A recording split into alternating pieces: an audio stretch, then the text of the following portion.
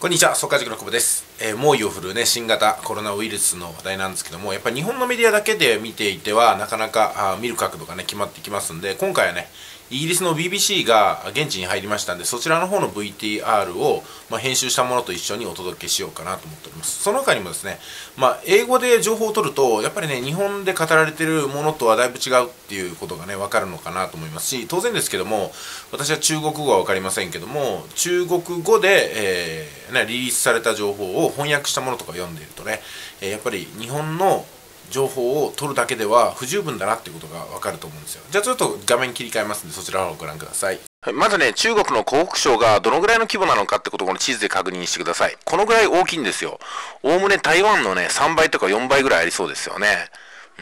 うん、大きい。で、この中の武漢っていうところは人口が1100万人以上いるところなんですよね。見てください、この規模、この大きさ感覚。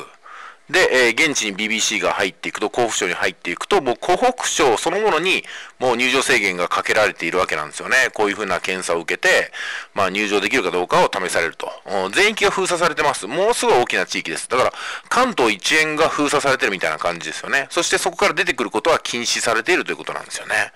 で、えーと、これがね、えー現地に入ったところなんですけども、店舗はね、すべて閉まっていると。今で言ったらお正月をね、祝うはずなんですけども、ほとんど誰もいなくって、っ、もうすべて、えーね、ここはね、六本木率みたいなところらしいですよ。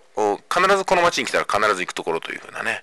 で、旧正月は後回しということですごく寂しい状態ですね。で、病院は患者さんで溢れ返っていて、とても手がつけられない状態だということです。で、えっ、と、取材チームはついに立ち退きを要求されて出て行ってしまったということで終わってるんですけども、もう中国全土がコロナウイルスに蔓延してこういうふうな真っ赤状態ですよね。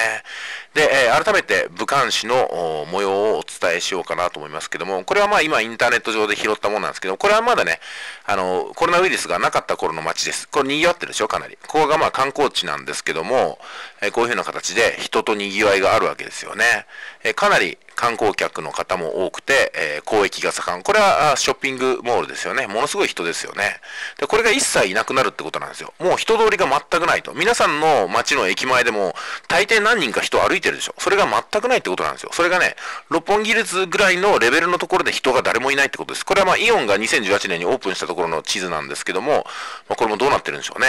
で、これがね、先月の模様です。先月の何日だったら12月の末なんですけども、こんなライトフェスティバルが開幕されててるんですよね。こんなに賑やかで、同じ武漢市で、こんだけ人が集まってね、ワンワカワンワカやってるところで、まあ、コロナウイルスってのは広がっていたんだなというところなんですよね。さあ、それではですね、翻って東京六本木列に戻ってきました。どうですかこの六本木列。ね。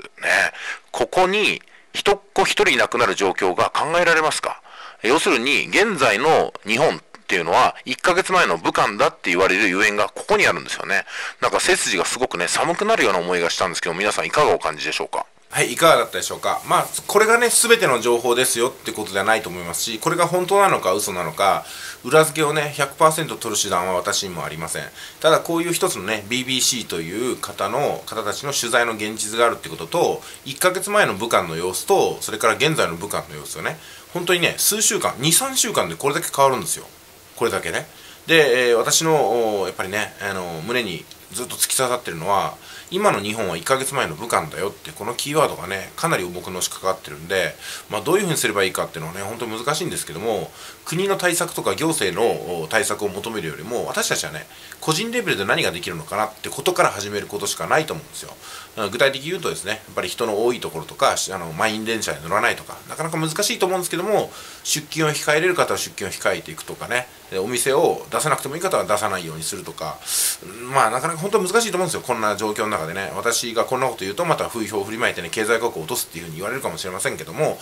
まあそれも込みでもねあの考えていかないといけないんですけどもまあでもねやっぱり病にかかってしまえば風評どころじゃないんで深刻な事態が訪れると思いますから、うんやっぱり自己防衛っていうのをまず基本にしてですね。その上で自己判断で誰かが言ったからとか誰かがやってるからとかではなくて自分の判断で行動することが求められてるのかなと思いますね、まあ、ここは慎重になっても損をすることはないと思いますので多少の用事は先延ばししてですね安全が確保されるまで待っていた方がいいと思います。これもねだから地震が起きるか起きないかにちょっと似てるんですけども、うん、一体慎重にしててもかかるかどうか分かりませんし大胆に行動しててもかかるかどうか分からないんですよ。まあ、一ところでですね私の情報に寄せられたところによりますと在宅感染っていうのも発見されてるみたいなんですよね。ちょっとね恐ろしいですね。在宅って言ってからもう空気感染してんじゃないかぐらいのレベルで疑わしいんですけどもね。皆さんはどうお感じでしょうか。それでは失礼します。